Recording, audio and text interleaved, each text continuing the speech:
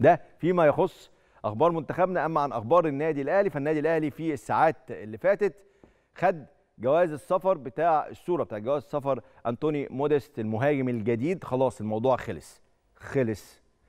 كلمة رسمية مش هقولها لما الأهلي يعلن رسمية بس الموضوع الاتفاقات كلها خلصت والراجل كان بيعمل كشف طبي النهارده في سويسرا والكشف الطبي كان كشف طبي ناجح واللعيب جاهز وهيجي بكره كمان وهيعمل كشف طبي روتيني آخر في مصر هيوقع عقوده وهياخد الأهلي جواز سفره وهيطلع له تأشيرة السعودية عشان يبقى في قائمة النادي الأهلي لمباراة السوبر الأفريقي يوم الجمعة القادمة إن شاء الله.